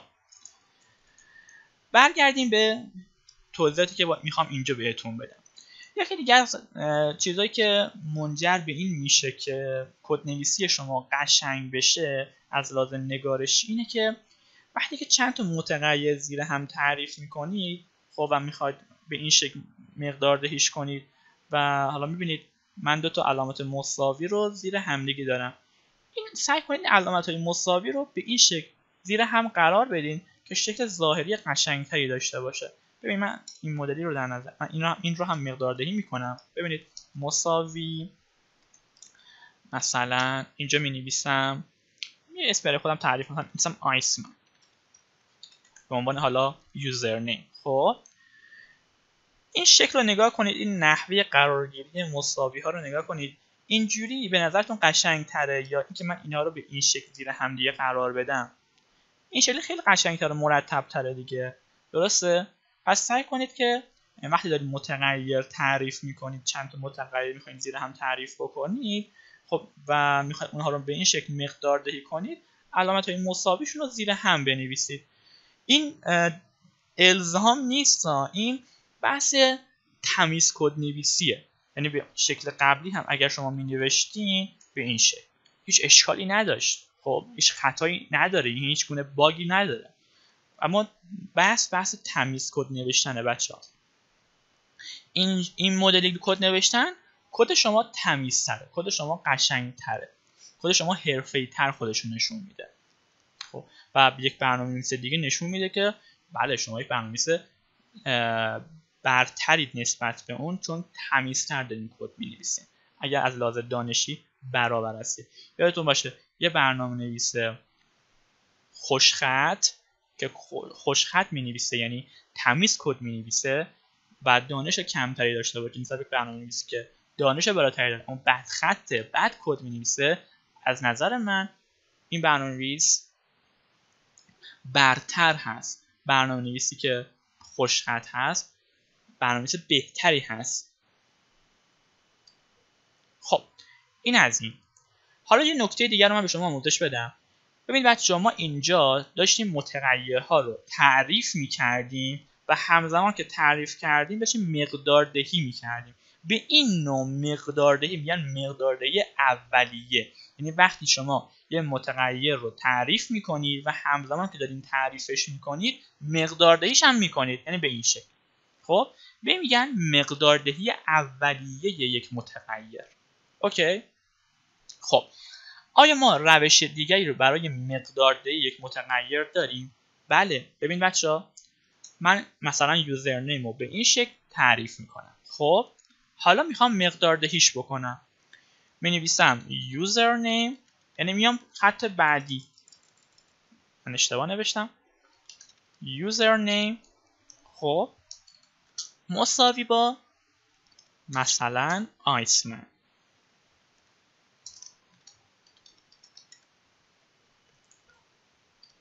سیمیکال به حالا اینجا چون یک فاصله افتاده و اینها دقیقا زیر هم نیستن می‌تونید این مساوی رو زیر سایر مساوی ها ننویسید. این مشکلی رو این از لازم نگارشی این قشنگ تر به نظر من. حالا اینجوری هم بنویسین باز قشنگ هست. کد تمیزی دارین ولی خب این مدلی هم بنویسین چون یک فاصله افتاده دیگه زیر هم دیگه مساوی ها نیستن. خب می‌تونید این مساوی رو به این شکل بنویسیم که کدتون رو تمیزتر نشون میده و قشنگتر هست. خب یک نکته دیگر رو من به شما بگم بچه به من اینجا بین این اپراتور و این نامی که تعریف کردم و این متغیری که من اینجا تعریف کردم یک فضای خالی ایجاد کردم. می‌بینید این اسپیس گذاشتم. شما می‌تونید این space رو بردارید یعنی به این شکل بنویسید این رو. می‌بینید؟ من می‌تونم این اینجا هم به همین شکل. اما اینجا دیگه نمی‌تونم این space رو بردارم. این خطاست. اما اینجا می‌تونم این space و فضای خالی رو بردارم. می‌بینید؟ بین نام متغیرم و مقداری که بهش دادم. این فضای خالی رو می‌تونم بردارم. اما به نظر شما این شکل ظاهری قشنگی داره؟ نه اصلا اینطور نیست. پس همیشه سعی کنید اطراف اپراتورهاتون اطراف عملگرهاتون سمت چپ و راستش یک فضای خالی ایجاد کنید یک فضای تک space ی ایجاد کنید. این از لحاظ نگارشی کد تمیزتری رو به شما میده. OK پس این هم یه نکته دیگه بود که بایستی یاد می‌گرفتید. خب. نکته بعد این هستش که همونطور بهتون گفتم الان ما اینجا اومدیم این متغیر رو به این شیوه مقداردهی اولیه کردیم. می‌بینید؟ به این شیوه مقداردهی اولیه کردیم. پس این شیوه صحیح هست این شیوه هم صحیح هست. خب اما به نظر شما کدوم روش بهتره؟ نمی‌تونیم بگیم حالا کدوم روش بهتره. هر دو روش درسته و هر دو روش هم خوب هستن. این یعنی هر دو روش رو من میپسندم. حالا به هر دو روش شما می‌تونید مقدار اولیه متغیر هاتون رو انجام بدید. خب هر دو روش بهتر. اما اگه بخوام یک تمایز قائل بشم من خودم این روش رو بهتر میپسندم. آخه چه لزومی داره که من بخوام وقتی می‌خوام یک مقدار اولیه انجام بدم دوباره بیام اسم متغیر رو بنویسم و بخوام دوباره مقدار رو بهش انتقال بدم یا انتصاب بدم. وقتی به همین سادگی و با یک خط کد من می‌تونم این کار رو انجام بدم چرا بایستی بیام تو دو خط کد این کار رو انجام بدم؟ هر دو روش صحیحه هر دو روش درسته. اما این روش رو من به عنوان یک روش برای مقداردهی اولیه متغیرها برتری می‌دونم برتری میدم نسبت به این روش برای مقداردهی اولیه متغیرها. خب پس من این رو برش میگردونم و به این شیوه مقداردهی اولیم رو انجام میدم. خب؟ این هست خب الان برای شما ممکن یک سوال پیش آمده باشه که من چطور می‌تونم از محتوایی که درون از مقدار یا محتوایی که درون این متغیرها وجود داره من استفاده کنم؟ به عنوان مثال من چطور می‌تونم محتوای درون یک متغیر رو در خروجی حالا بر روی مرورگرم به نمایش در بیارم؟ ببینید بچه ها شما هر موقع بخواید از محتوا یا بهتر بگم مقدار درون یک متغیر استفاده کنید کافیه که خود متغیر رو در همونجا که می‌خواین ازش استفاده بکنید قرار بدید. به عنوان مثال مثلا من می‌خوام محتوای درون یوزرنیم رو بر روی مرورگرم به نمایش در بیارم توسط دستور console.log چه می‌کنم؟ کافیه که این متغیر رو برش دارم. درون این پرانتز log قرار بدم. به همین سادگی. یعنی چی؟ یعنی این نام در واقع گواه بر چیه؟ بر این مقداری هستش که درونش قرار گرفته. OK. یعنی مثل این میمونه که من اینجا چی نوشته باشم؟ نوشته باشم آیسمن. OK. خب حالا بریم نتیجه رو با هم ببینیم. ببینیم که چه چیزی رو من بر روی مرورگرم خواهم دید. به این قسمت دقت بکنید. می‌بینید که نوشت آیس من یعنی محتوای درون یوزر نیم رو برای من به نمایش در آورد من از این console.log داپلیکیت می‌گیرم دوبار و می‌خوام first name رو اینجا بنویسم last name رو اینجا بنویسم و یوزر هم به عنوان سوم. خب سه بار console.log رو استفاده کردم. خب حالا یک بار صفحه رو رفرش می‌کنم. شما به این قسمت نگاه کنید. می‌بینید علیرضا رئیسی آیسمن. ببین محتوای درون این متغیرها هست که داره بر روی مرورگر من به نمایش در میاد. پس هر جا من متغیرها رو استفاده کنم در حقیقت مثل این که من دارم محتوای درون اون متغیرها رو مورد استفاده قرار میدم و مورد پردازش در واقع در میارم. خب این از یه نکته. نکته بعد اینه که حالا من اینا رو پاک می‌کنم هم می‌تونم بذاریمش هم مهم نیست. خب حالا یه سال پیش میاد آیا لازمه که وقتی من دارم به این شکل مثلا سه تا متغیر رو پشت سر هم دیگه تعریف می‌کنم سه بار بنویسم ور ور ور به این شکل.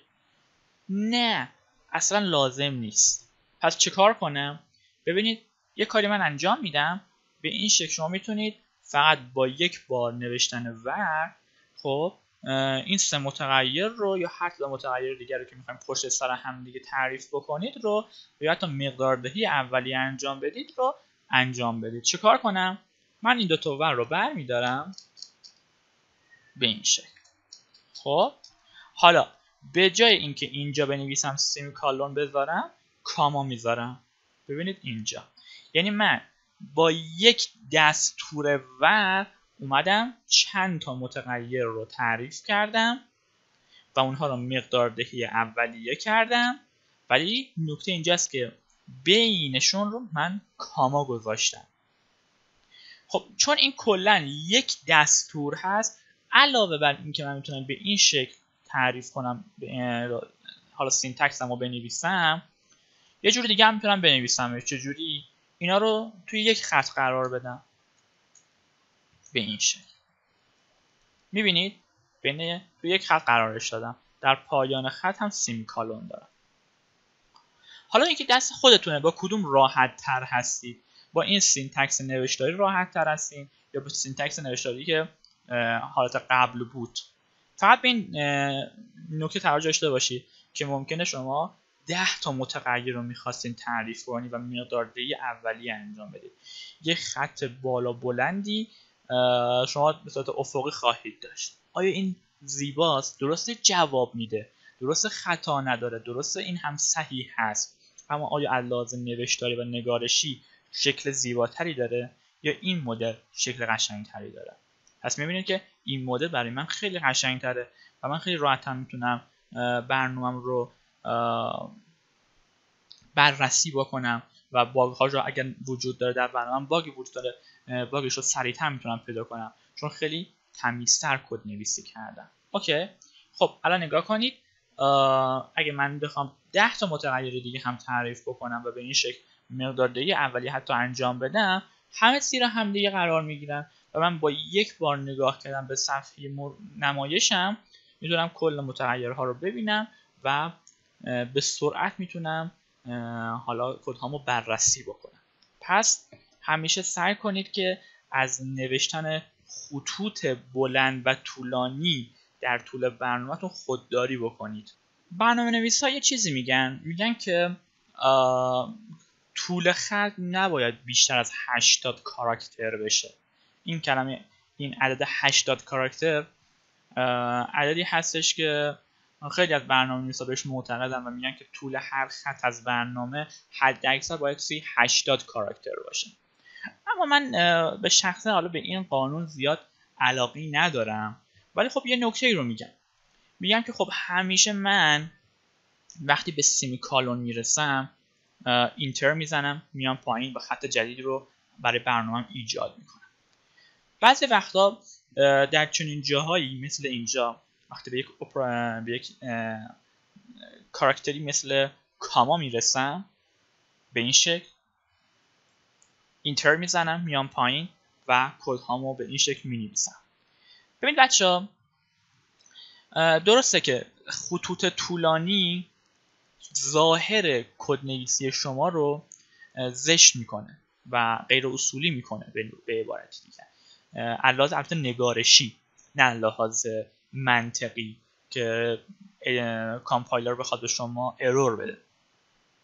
از لحاظ نگارشی این دیگه دست خودتونه. ببینید که کجاها می‌تونید enter بزنید خط رو بشکنید به این خط بعدی. بعد و از لحاظ ظاهری شکل برنامه خیلی بهتر میشه. و از لحاظ syntax ی هم سیستم دچار مشکل نمیشه که منجر به خطای منطقی برای شما حالا بر روی editor تون بر روی حالا مرورگرتون ظاهر بشه. تا اینجا کار من اینجوری برای شما توضیح دادم که زمانی که به سیمی کالون می‌رسید اینتر بزنید به خط بعد خط بشکنید این خط بعد یعنی من می‌تونم اینجا بیام به این شکل کدها رو بنویسم. یعنی ببینید اما خب همه در یک خط اما این کار اصولی نیست کار صحیحی نیست. درست خطا نمی درست باگی نداره اما خب کار صحیحی هم نیست. علاوه نگارشی. من وقتی به سیمی کالون می‌رسم خط رو میشکنم میام پایین. وقتی به سیمی کالون می‌رسم خط رو میشکنم میام پایین. گفتم که ما در پایان دستوراتمون چه کار می‌کنیم؟ سیمیکالون رو می‌ذاریم. اینو یادتون باشه. و یه مورد دیگه هم گفتیم که در چنین جاهایی مثل اینجا که داریم متغیرها رو تعریف می‌کنیم اگر به این شیوه یعنی به شیوه استفاده از یک فر برای تعریف چند متغیر استفاده کردید زمانی که به کاما می‌رسید خط رو بشکنید بیاین خط بعد. یک فاصله به این شکل ایجاد کنید که همین متغیرهاتون دقیقا زیر همدیگه باشه. خب این تمیزتر می‌کنه کدتون رو. این مثلا اگه من اینا رو اینجا بنویسم ببینید من اینجوری بنویسم. این هم درسته. این اصلا خطایی نداره. خب خودتون قضاوت کنید. این کد تمیزتری هست یا به این شکل کد نویسی کردن. خب طبیعتا اینجوری خیلی قشنگ تره که همه متغیرات زیر هم باشه تمام مساوی زیر هم دیگه باشن و به این شکل ما کد نویسیمون رو انجام بدیم. من خودم در برنامه‌نویسی خیلی تاکید به کد نویسی تمیز دارم. مخصوصا در زبان JavaScript چون ما گاهی اوقات کدهای خیلی پیچیده خواهیم داشت توصیه می‌کنم که همیشه سعی کنید که چه در زبان JavaScript چه در زبان های دیگه کدنویسی تمیزی رو داشته باشید و کدنویسی مرتبی رو ارائه بدید. پس یادتون باشه که در چنین جایی مثل تعریف متغیرها با یک و وقتی که به یک comma رسیدید به این شکل enter بزنید خط بعد و خط جدید رو و ادامه کدتون رو از خط جدیدتون آغاز کنید. به این ترتیبی که من براتون انجام دادم. این syntax رو رعایت کنید شکل بهتری برای کد نویسیتون خواهید داشت. خب اما من اینجا یه نکته دیگه رو هم بایستی به شما عزیزان یاد بدم. من اگر بیام این semicolon ها رو از اینجا بردارم آیا سیستم به من خطا میده؟ می‌خوایم با همدیگه چک کنیم آیا با خطا روبرو میشیم یا نه. من یک با مرورگر رو رفرش می‌کنم و می‌بینید که داریم جواب می‌گیریم. هیچ گونه خطایی ما نداریم. هیچ گونه اروری به ما نداد سیستم. خب این چجوریه جریانش؟ علیرضا تو که گفتی در پایان تمام دستورات باید سمیکالون بذاری. الان سمیکالون رو برداشتی و هیچ خطایی نداشت. این نکتهش کجاست؟ درسته. نوشتن گذاشتن سمیکالون در پایان دستورات در صورتی که در هر خط یک سیمیکا... یک دستور داشته باشید. اجباری نیست. ببینید من در خط شماره 5 یه دستور دارم. در خط شماره 6 یه دستور دیگه. در خط شماره 7 هم یک دستور دیگه دارم. چون در هر خط یک دستور دارم پس در می‌تونم اینا رو سمیکالونش رو بردارم و سیستم متوجه میشه. چون من هر دستور رو در یک خط نوشتم هر خط رو یک دستور برای من در نظر می‌گیره و خودش متوجه میشه که این خط یه دستوره این خط یه دستوره و این خط هم یک دستور هست. پس چه گذاشتن سمیکالون در چنین جایی اشکالی نداره. اما باز هم با این حال درسته که سیستم به شما خطا نمیده ولی من به شما باز توصیه می‌کنم در چنین جاهایی هم حتما سمیکالونتون رو بذارید و به این شکل عمل نکنید. که بدون سمیکالون بخواید دستوری رو رها بکنید. در پایان تمام دستورات سمیکالون بذارید. این شکل بهتری به کدتون میده. کدتون رو خاناتر می‌کنه و لازم نگارشی این کار صحیح تری هست. ببینید من به شما همه چیز رو دارم توضیح میدم. چه چیزی صحیح هست چه چیزی خطا هست چه چیزی از لحاظ نگارشی خطا هست چه چیزی از لحاظ منطقی خطا هست. و همین نکات دارم به شما توضیح میدم و در این جلسه خیلی دارم تاکید می‌کنم بر اصول نگارشی صحیح کد نوشتن. چون دوست دارم که شما دوستانم تمیز کد بنویسید و این برای من مهمه و دوست دارم برای شما هم مهم باشه. خب حالا بچه من میام. اینا رو تو یک خط قرار میدم خب که با هم ببینیم. حالا اگه من سیمیکالون رو بردارم به این شکل خب به این شکل. حالا یک بار برنامه رو چک می‌کنیم. نگاه کنید بچه ها. الان دیگه بهم error داد نوشت syntax error خب پس ببینید نکته‌ای که گفتم دقیقا داره صدق می‌کنه. در صورتی که دستورات شما یک خطی بودن شما می‌تونید در پایان semicolon نذارید. درست شد؟ توی semicolon رو بردارید. هیچ اشکالی نداره. اما لحاظ نگارشی این کار صحیح نیست و خطا محسوب میشه. از لحاظ منطقی منطق برنامه نویسی. میگه اشکالی نداره خطایی نداره. اما لحاظ منطق نگارشی لحاظ نگارشی کد صحیح کد نوشتن تمیز کد نوشتن. میگه این کار صحیح نیست و بهتره که در پایان هر دستوری semicolon تون رو بذارید. این هم یه نکته دیگه بود که دوست داشتم به شما عزیزان آموزش بدم. مورد بعدی در رابطه با حالا نکته ای هست که من قبلا هم در جلسات گذشته بهش اشاره کردم. اما خب دوست دارم حالا منباب یادآوری هم که شده دوباره بهش برگردم و بهتون این نکته رو آموزش بدم و حالا یک ریویو هم برامون خواهد شد. خب. من میام اینجا مثلا می نویسم یک متغیر مثلا تعریف می‌کنم به این شکل. میام اینجا می نویسم مثلا یک متغیر به اسم JavaScript تعریف می‌کنم. script مساوی با مثلا من این جمله رو می نویسم I love JavaScript. خب. به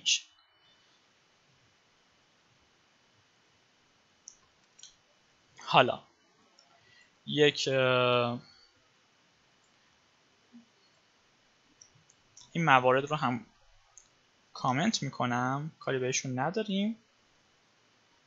خب من یکی که از یکی از این دستورات از این یک duplicate می‌گیرم. میام پایین این رو برش میدارم. خب اینجا صرفا می‌خوام بنویسم JavaScript به این شکل. okay حالا. یک بار با هم این نتیجه این کد رو با هم ببینیم. I love JavaScript. okay خب. بچه‌ها اگر من اینجا بنویسم یعنی این JavaScript رو بخوام بین یک double quotation قرار بدم. یعنی به این شکل. بین این double quotation می‌خوام بنویسم JavaScript آیا این کار صحیحی هست؟ از لحاظ منطق برنامه نویسی با هم نتیجه رو ببینیم. syntax error درست شد؟ یک خطا بهم داد نکتهش چی بود؟ یکم فکر کنید ببینم یادتون میاد در جلسات گذشته چی گفتم؟ در جلسات گذشته ما به این نکته اشاره کردیم که وقتی ما یک دابل کوتیشن داریم و می‌خوایم درون این دابل کوتیشن یک عبارتی رو بنویسیم دیگه حق نداریم درون این دابل کوتیشن دوباره دابل کوتیشن بذاریم. اگه می‌خوایم از کوتیشن استفاده کنیم بایستی از تک کوتیشن استفاده کنیم. درست شد؟ حتی من یک دونه دابل کوتیشن هم نمی‌تونم دیگه بذارم. درسته؟ یه دونه هم نمی‌تونم بذارم. به این شکل خب. پس یا این صحیح هست یا به این شکل. این دو تا تک کوتیشن می‌تونم بذارم یه دونه تک کوتیشن می‌تونم بذارم. اما دیگه بین دابل کوتیشن دابل کوتیشن نمی‌تونم بذارم. این یادتون باشه. این رو قبلا هم گفتم دوباره دارم تکرارش می‌کنم. اگر تک کوتیشن داریم دو تا تک کوتیشن داریم می‌خوام درون یک رشته بنویسیم درون این تک کوتیشن دیگه من نمی‌تونم تک کوتیشن بذارم. چه یه دونه چه دو تا چه سه تا یا هر تعداد دیگری. این غلطه. من بایستی دابل کوتیشن بذارم. یه دونه رو می‌تونم بذارم دو تا رو می‌تونم بذارم سه رو می‌تونم بذارم. ببینید این دیگه مشکلی نداره. خب پس به این دقت کنید. مثلا من اینجا می نویسم اگه بخوام این رو اصلاحش کنم به جای این دابل کوتیشن تک کوتیشن می‌ذارم به همین سادگی مشکل رو برطرف می‌کنم. ببینید الان تک quotation من چی شده؟ به عنوان یک کاراکتر داره چاپ میشه اگه نگاه کنید متوجه میشه خب حالا من اگر این رو بکنم تک quotation این رو هم تک quotation کنم حالا یک بار دیگه تست کنیم. error syntax error بهمون داد. syntax error یعنی چی؟ از لحاظ منطقی برنامهتون از لحاظ منطق نوشت منطق حالا کدی در واقع اشتباه هست. این یه خطا توی حالا انداز سینتکسی دارید. اندازه سینتکسی یک قانونی رو یک دستوری رو درست رعایت نکردید خود این ادیتور PHP استورم هم داره به شما ارور رو میده. نگاه کنید این گوشه رو نگاه کنید علامت قرمز رنگی رو مشخص کرده. این اگر علامتش نارنجی باشه یا سبز باشه okay هست. یعنی هیچ مشکلی وجود نداره. نارنجی یعنی warning هست. یعنی داره هشدار بهتون میده. قرمز یعنی error دیگه. okay الان داره میگه تو این خطه بهتون مشخص هم کرده کجا خطا داره. اینجا میگه تو این خط خطا داره می‌بینید داره اینجا میگه اینجا مشکل داره. خب حالا که من بخوام این رو کنم چیکار کنم؟ می‌تونم این دابل این تک کوتیشن رو کنم. دابل کوتیشن اینجا هم دابل کوتیشن اگر بکنم دیگه هیچ مشکلی نداریم. به همین سادگی اصلاح میشه.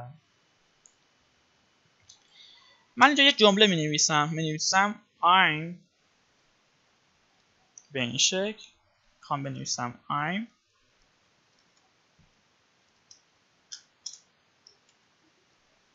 من هستم programmer programmer به این شکل. با همین رو چک کنیم. دوباره syntax error همون نکته که بهش اشاره کردم. من اگه بخوام این رو اصلاح کنم چه کنم؟ این تک quotation ها رو می‌کنم چی؟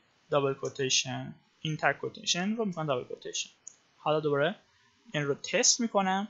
میشه I'm programmer. خب پس این شد نکاتی در رابطه با دابل کوتیشن و تک کوتیشن و ترکیب اونها با هم دیگه و این رو هم یاد گرفتیم. اما یک نکته دیگه من می‌خوام به شما عزیزان در اینجا بگم. یکی دیگر از قوانینی که ما برای نامگذاری متغیرهامون بایستی رعایت کنیم نه تنها در نامگذاری متغیرها بلکه برای هر گونه نامگذاری در جاوا اسکریپت این نکته بایستی در نظر گرفته بشه. چه نکته ای ببینید بچه ما یک سری کلماتی رو داریم یک سری دستوراتی رو داریم یک سری عباراتی رو داریم. حالا هر چیزی میشه بهش گفت که این کلمات این word ها به عبارتی در جاوا اسکریپت اینا رو رزرو شدنه. حالا یعنی چی؟ ببینید بچه ها. مثلا کلمه var رو نگاه کنید. این کلمه برای جاوا اسکریپت یک معنی رو داره. میگه که وقت وقتی که در کنار یک اسم قرار می‌گیره به جاوا اسکریپت میگه که این یک متغیره و برای تعریف متغیر استفاده میشه. کلمات کلید کلمات رزرو شده در جاوا اسکریپت هر کدوم برای جاوا اسکریپت یک معنی رو میده و یک کار خاصی رو برای جاوا اسکریپت انجام میده. و, و غالبا در ابتدای شروع دستورات مورد استفاده قرار می‌گیره. مثل var که در ابتدای شروع دستورات مورد استفاده قرار گرفته و توی PHP Storm داره اونها رو به رنگ نارنجی نشون میده. می‌بینید؟ okay نارنجی. نارنجی پررنگ. حالت bold م شده تقریبا. ما هیچ وقت نمی‌تونیم این کلمات رزرو شده رو برای اسامیمون در جاوا اسکریپت انتخاب کنیم. مثلا من اینجا اگه بخوام جاوا اسکریپت رو تغییر بدم به کلمه var خب می‌بینید که رنگش رو نارنجی می‌کنه. یعنی داره میگه که این یک کلمه یک رزرو شده هست. و اگر اینجا نگاه کنید می‌بینید که داره بهتون error میده. پس ببینید ما کلمات کلیدی رو مثل var و خیلی کلمه کلیدی دیگه که ما در جاوا کلمات ببخشید رزرو شده که در جاوا اسکریپت داریم رو هیچ وقت نمی‌تونیم به عنوان اسامی در جاوا اسکریپت مورد استفاده قرار بدیم. از جمله اسامی متغیرهامون. حالا این کلمات کلیدی به من مدام دارم میگم کلمات کلیدی. کلمات رزرو شده. این کلمات رزرو شده چیا هستن؟ حالا گفتیم یک نمونه شو مثال زدیم گفتیم و. بقیه چیان؟ تعدادشون زیاده. انتظار نداشته باشه که من در این جلسه همه رو بهتون بگم. ولی ور تا اینجا که حالا با هم پیش اومدیم تا این جلسه ور اولین کلمه کلی کلمه رزرو شده ای هستش که با هم یاد گرفت. و اینو یادتون باشه که نمی‌تونید به عنوان نام نام متغیر یا سایر نام ها در جاوا مورد استفاده قرار بدید. حالا من مدام که جلسات آینده رو آموزش بهتون میدم و واردشون میشیم خب با سایر کلمات کلیدی کلمات رزرو شده آشنا خواهیم شد و بهتون میگم که این کلمه یک کلمه رزرو شده در جاوا اسکریپت و شما نباید اون رو به عنوان نام هاتون انتخاب کنید. اگر بخواید که من براتون چند تا کلمه کلیدی دیگه مثال بزنم ولی خب اینها رو فقط به گوشتون خورده باشه این اسامی ما در جلسات آینده بهشون می‌رسیم و شما با همه اینها آشنا خواهید شد. خب الان فقط ببینید این کلماتی که من می‌خوام بنویسم. زیاد سخت نگیرید که اینها چی هستن هر کدوم چه کاربردی داره چه کاری رو برای ما در جاوا انجام میده. صرفا بدونید که اینها برخی از کلمات رزرو شده در جاوا اسکریپت هستن. مثلا for این یکی از کلمات که رزرو شده در جاوا اسکریپت if else?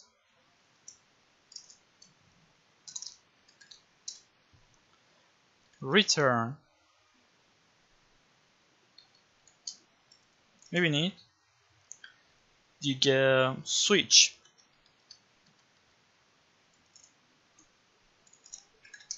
Function.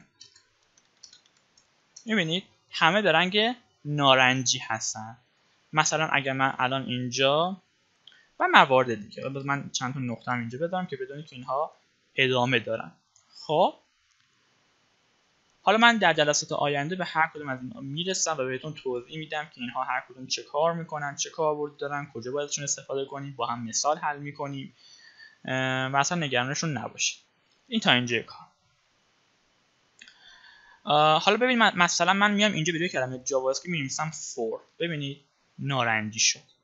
در PHP مثلا خودش بهتون میگه که این کلمه کلمه کلیدی هست نباید استفاده بکنید حالا من مثلا اینجا می‌رسم for میگید for کلمه رزرو شده هست. من می‌تونم یه جوری اینو تغییرش بدم که دیگه مشکلی نداشته باشه. چرا که نه؟ مثلا بیاید بگید اندل من می نویسم for خب الان تا اینجای کار اگه من این رو بنویسم خطا داره بهم میده. مثلا من یک سری حرف دیگه بهش اضافه می‌کنم. مشکلش حل شد. خب مثلا می نویسم underline یک. یا می نویسم for یک. یا می نویسم یک کاراکتر بهش اضافه می‌کنم. یک تغییری بهش میدم که دیگه این کلمه رزرو شده در جاوا اسکریپت نباشه. خود این کلمه خود این کلمه مثل for مثل function else ور و و و و. اینها کلمات رزرو شده هستن. حالا اگه من یک یک کاراکتر جدید بهشون اضافه کنم یک تغییر کوچیک توشون اعمال کنم که دیگه با حالت قبل متفاوت بشه یک کلمه رزرو شده نخواهد بود. مثلا یک کار جدیدی که من می‌تونم انجام بدم ببینید for با حرف کوچیک داره نوشته میشه. و گفتیم که در ابتدای همین جلسه گفتیم که نام متغیرها و به طور کلی نام ها در جاوا اسکریپت به حروف بزرگ کوچیک حساسن. یعنی من اگه اینجا بیام حرف F رو به صورت بزرگ بنویسم می‌بینید که دیگه بهم نارنجی نشونش نمیده و الان دیگه هیچ مشکلی نداره من از این for استفاده کنم. پس یک تغییرات این مدلی من اگر روی کلمات رزرو شده اعمال بکنم مشکلش حل میشه و می‌تونم ازش استفاده بکنم. و می‌تونم حالا به عنوان نام متغیر یا نام های دیگری که در جاوا ما می‌تونیم ازشون استفاده بکنیم و در آینده به یاد خواهیم گرفت که نام ها در کجاها دیگه کاربرد داره می‌تونیم ازشون بهره مند بشیم. اوکی؟ خب این از من اینجا می نویسم جاوا اسکریپت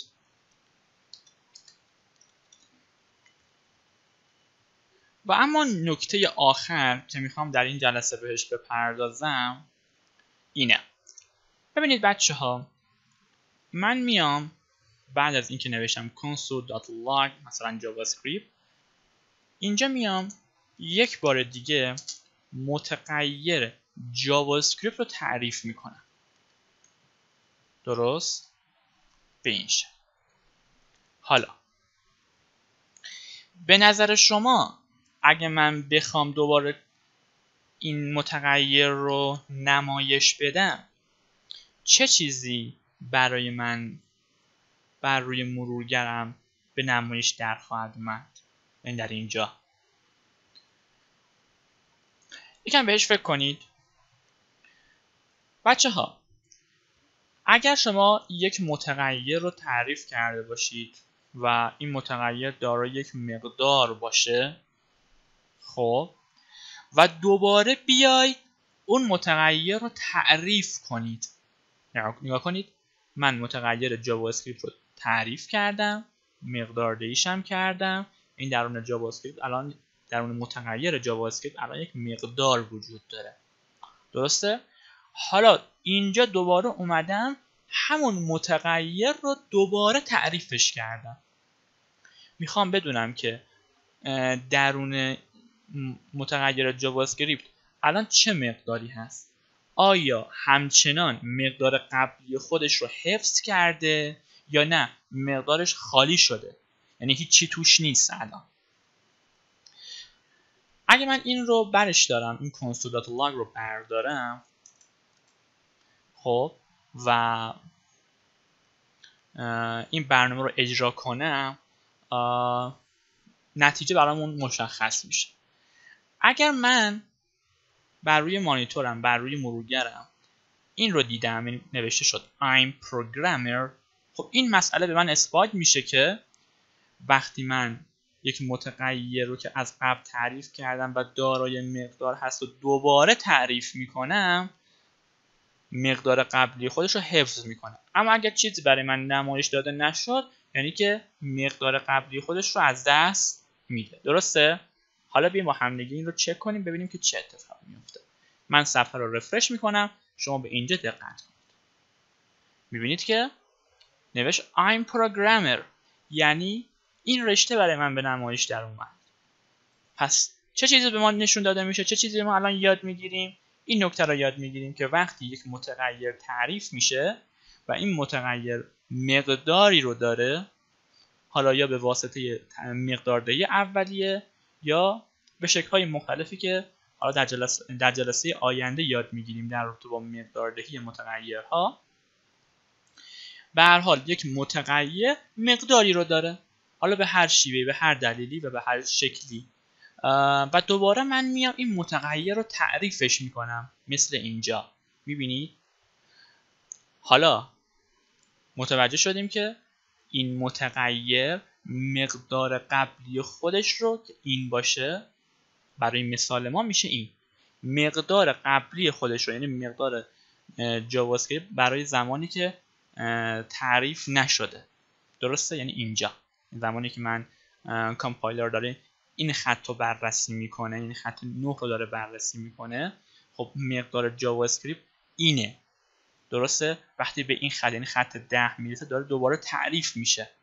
اما در خط 11 و در خط 12 جاوا اسکریپت به چه صورته هنوز مقدار قبلی خودش رو داره و اون رو از دست نداده. پس تعریف مجدد نام, نام یک متغیر تأثیری بر مقداری که از قبل داشته نخواهد داشت. این نکته رو هم یاد گرفتیم و این آخرین نکته بود که من می‌خواستم در این جلسه به شما عزیزانم آموزش بدم. انشاءالله در جلسه آینده ما همین بحث رو ادامه میدیم و نکات بیشتری رو در رابطه با مواردی که در این بحث حالا داریم در صحبت می‌کنیم که بحث متغیرها هست بحث عملگرها و بحث عملوندها هست. حالا من در ابتدای جلسه عنوانی که برای این جلسه تعریف کردم و برای شما بیان کردم گفتم که من می‌خوام در این جلسه در رابطه با عملگرها و عملوندها صحبت کنم. چیزایی که تا اینجای کار گفتیم مقدمه بود برای صحبت ما در رابطه با عملگرها و عملوندها. درست شد؟ پس این رو جلسه امروزمون رو این جلسه که الان با هم داشتیم و دربارش صحبت کردیم و مقدمه بدونیم برای موضوع بحثمون. و انشاءالله در جلسه آینده در رابطه با عملگرها و عملوندها در جاوا اسکریپت صحبت خواهیم کرد و به صورت مفصل و با تمام جزئیات کامل این موضوع. خب دوستان عزیزم من این جلسه رو در همینجا به پایان میرسونم. برای همه شما که تا پایان این جلسه با من همراه بودید آرزوی بهترین ها رو دارم و از همتون تشکر می‌کنم. و تا جلسه بعد خدایا رو نگهدارتون باشه. خدا حافظ